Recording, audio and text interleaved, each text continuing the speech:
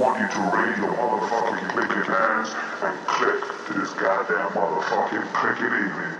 You gotta get into the vibes.